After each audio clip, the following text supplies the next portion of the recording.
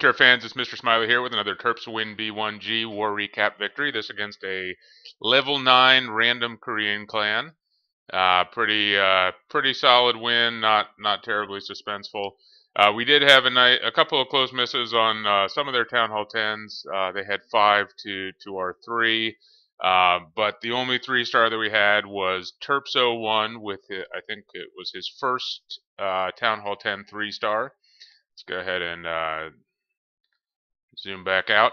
Uh, this one, uh, kind of a you know standard box base, except for uh, these little.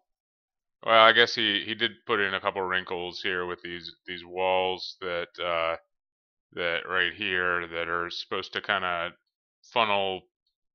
I don't know what he thinks they're going to do.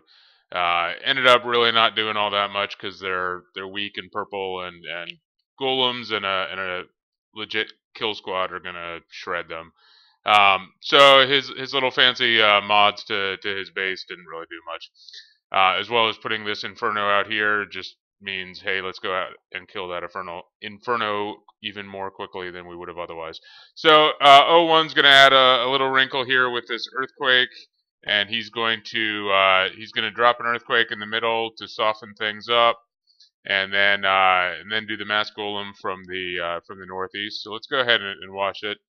Uh, this is a really solid, uh, really solid, kind of guaranteed, almost guaranteed two-star strategy for uh, for new Town Hall 10s, and O1 is a a nine and a half. So especially when we're outnumbered, we we definitely need to get the solid two stars before we start experimenting with some stuff.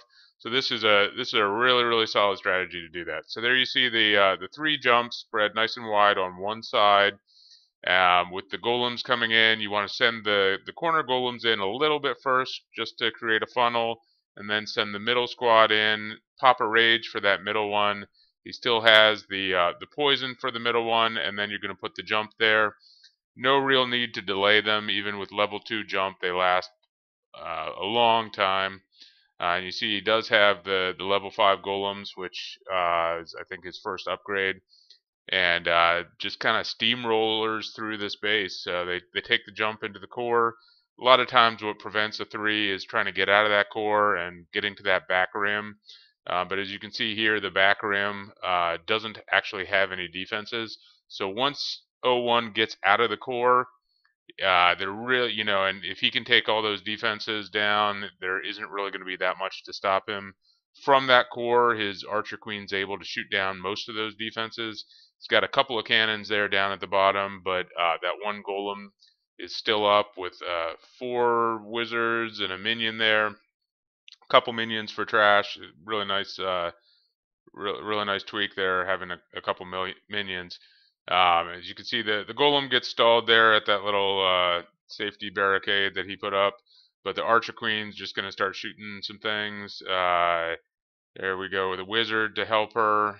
And uh, there he pops the ability. That's going to eat up that uh, that gold storage and more importantly give his golem the chance to get in front in between the uh, the archer queen and and the last remaining defenses there we have a double giant bomb that gave us a little bit of a scare there.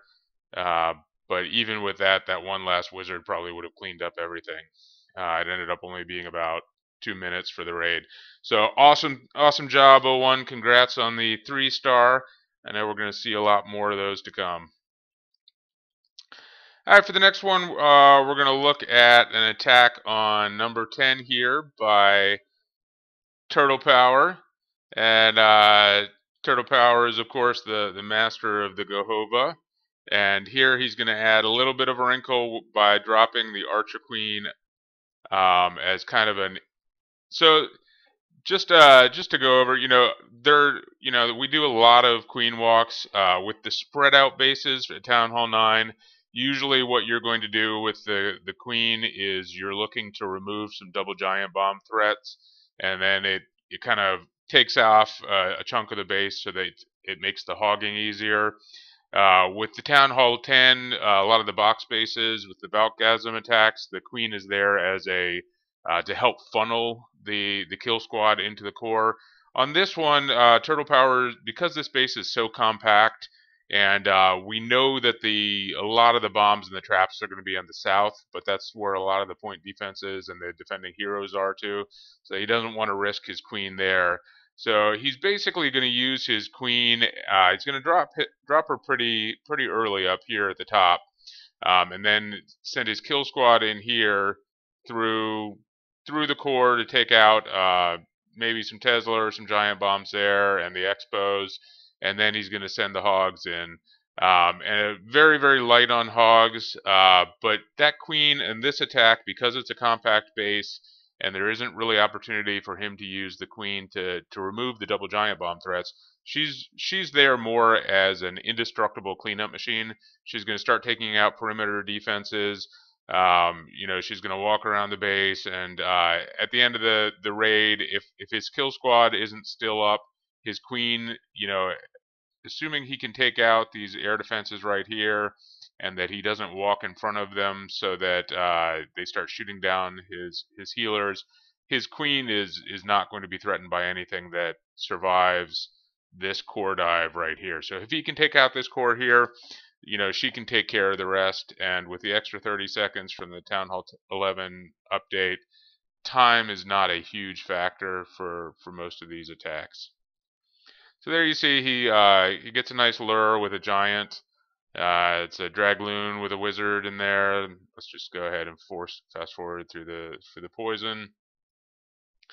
Takes out that dragon there. So he's going to drop the queen there at the top. Uh, we can go ahead and watch this. Up, oh, let's go to back to one speed. And there he's going to drop his shattered uh, two golem entry down there. There we see they very quickly take out the defending heroes. Pretty, well, very poor choice to put them exposed. Um, kids don't do that. Uh, and Southern teasers are, you know, once you know how to beat them, are are not good options. So don't do that either.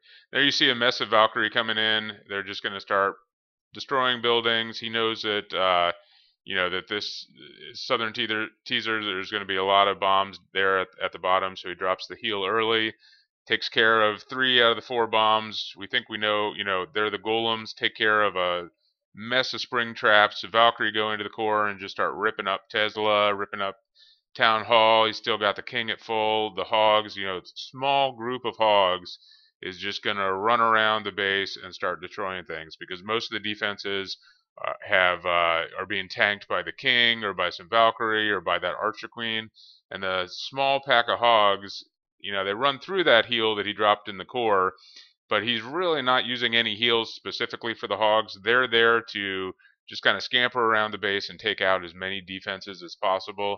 And then once they get over over to the cannon there, they you know he loses a couple of Hogs, but there we we have the last remaining point defenses are all targeting the Burger King, and so they're not going to target the Hogs. He does lose a couple more Hogs to those springs, but at this point, there's nothing that is going to is going to jeopardize his uh, queen taking out the rest of the base. That um, you know, it's basically the attack is to remove as much stuff as possible so that his queen can walk around and just destroy everything. There you see at the end, she is going to, you know, the healers are going to run over and uh, make sure that his healer, you know, his Burger King gets healed up and the rest of his troops are are healed up. And uh, beautiful, beautiful uh, kind of unorthodox queen walk, but uh, still, you know, really nice strategy.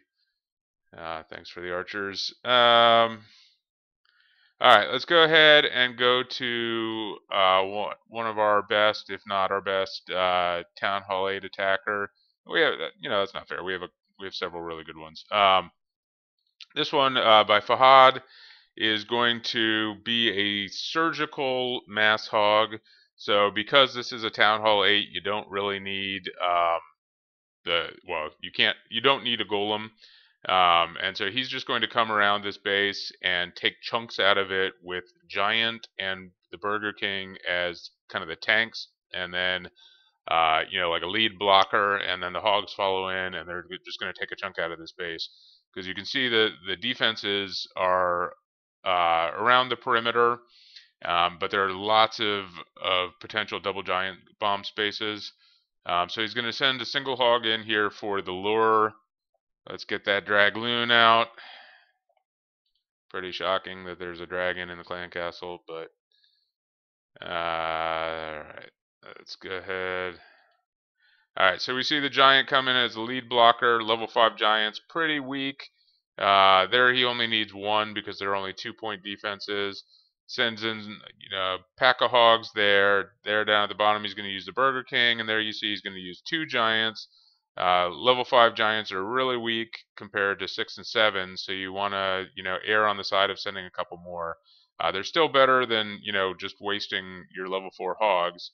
Uh, and there he has uh, some level 5 in the clan castle that are running through the, the area that's already been kind of uh, where the, the bombs have, have been exposed. They're going to get into the core. Level 5 hogs just seem to last so much longer than level 4 to the Burger King and to, to Skelly Traps. Um, so there's something about, you know, it's not a huge jump math-wise, but in, in, in effect on a raid, it ends up being a pretty nice jump. So there we go with another in that east quadrant or west quadrant. There's another heal. Uh, ends up just missing that giant bomb that takes out some of those hogs. But at this point, it's pretty much just cleanup. As long as he survives the the Burger King trying to take out his last couple of hog packs. Usually, you know, on a lot of these Town Hall 8 hog raids, that's where the struggle is. Um, and they don't survive that, but he still has the Burger King up. He's still got a whole bunch of wizards and probably maybe more importantly he has a couple level 4 minions so as long as they don't send set off any uh, air bombs he's going to be able to go over to the Burger King defending Burger King and take him out I don't recall offhand whether he does that or not but let's go ahead and let's uh, watch the defending Burger King uh, you know kind of confused patrolling he sees all this disruption going on around him you know is he going to go down and start chopping off wizard heads uh, or is that the the attacking Burger King going to get in there and, and get him? So there there we go. We've gotten penetration to the core. Both of the minions end up getting taken out. Uh, Barbarian takes off a bomb. Fortunately, his Burger King is is a little bit stronger. Rock'em Sock'em robots in the middle there. Uh, and BlueStacks pauses. Alright, any day. So we're waiting for the uh, yeah. So sorry about that. Uh, suspense over. Our guy wins and finishes off the clan castle. And uh, there we go. Leggy, leggy, leggy into the middle, and uh, the the cleanup crew just each gets to take their shot in the clan castle. So uh, sorry about the lag. Really nice attack, Fahad. Uh, our, one of our Town Hall 8 superstars. Uh, solid, solid win. So until next time, let's go Terps.